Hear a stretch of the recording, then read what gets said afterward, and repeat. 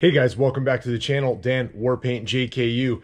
If you're doing a one-ton swap on your JKU and you need rear wheel speed sensors on a corporate 14 bolt, Artec Industries has you hooked up and they make an awesome bracket that bolts right on to the backing plate and provides an awesome place for your wheel speed sensors to be located perfectly to communicate with a tone ring. So let's check out what needs to be done.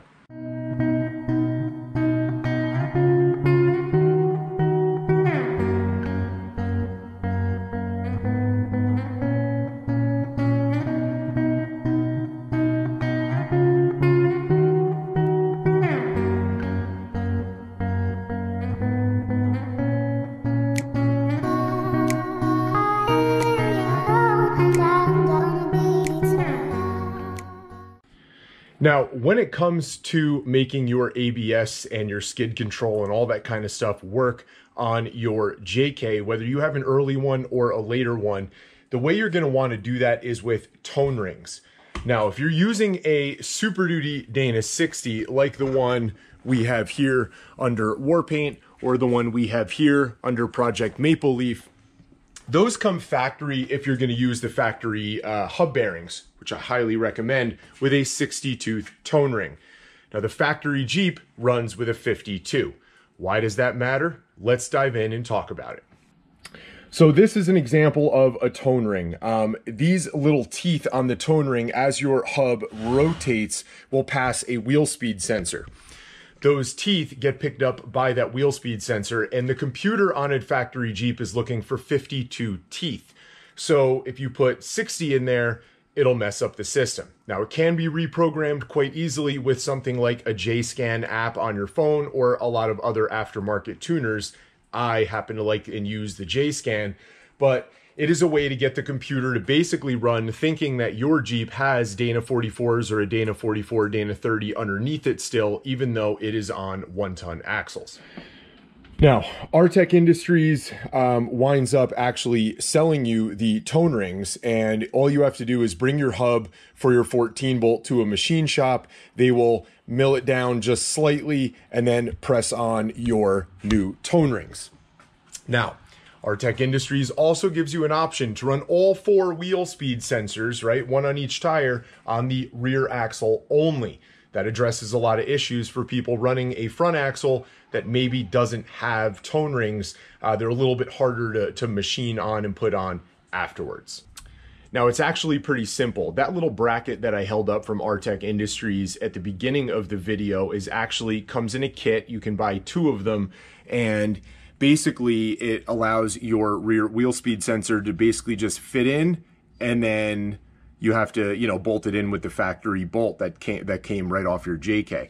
Um, now, as that gets bolted on, you do need to drill a hole through the backing plate for your emergency brake setup, which we're going to get to for in a second. And you're also going to need to uh, grind down the inside of the brake shoes on the emergency brake to make sure that the uh, tone ring on the hub will actually fit when it comes time to reassemble it. But it's all truly simple. We're going to get to it. I'll show you how it's done.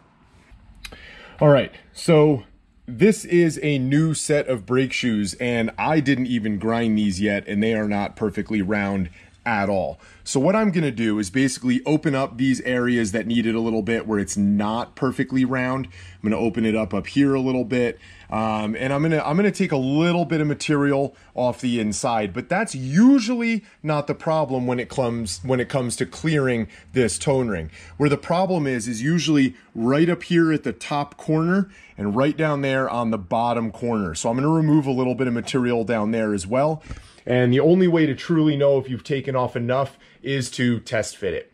If it doesn't fit and the tone ring is contacting and you can't get that hub past it when you're on reassembly, you need to take it back apart, open it up a little more, and then put it back together. It's really not that big of a deal. I just hit them with a flap disc and open them up.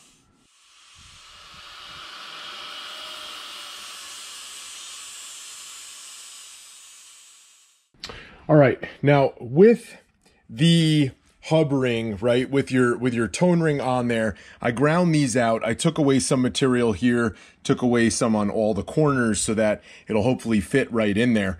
Um, at this point, we need to make sure that we drill a hole through the backing plate, which will allow our wheel speed sensor to get in there.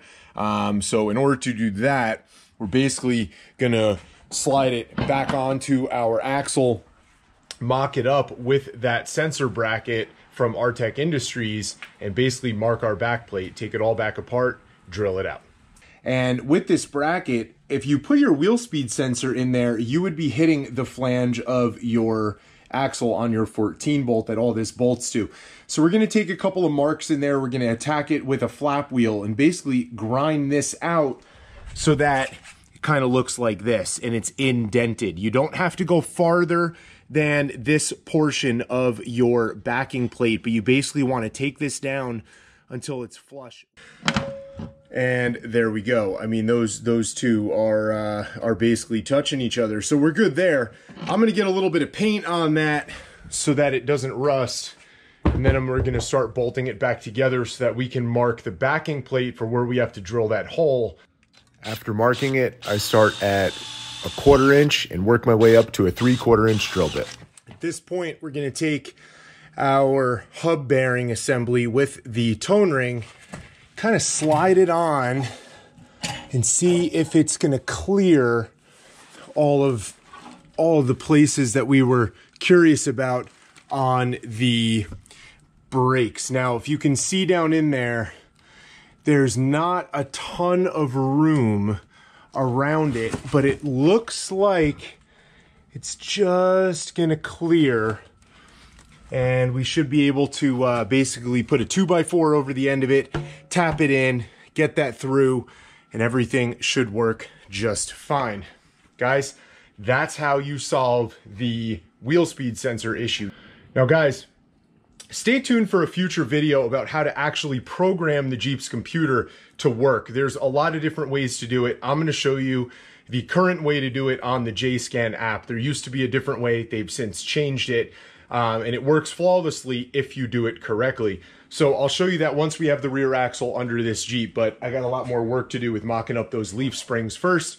Um, and your your I can attest to it. Your dash will not look like a Christmas tree. In fact, your Jeep will still think it has the Dana 44s and factory tires underneath it. Uh, that's how it'll drive. It's going to be awesome. Um, get out there, go build something. Make sure you check out the links below in this video, and don't forget to subscribe.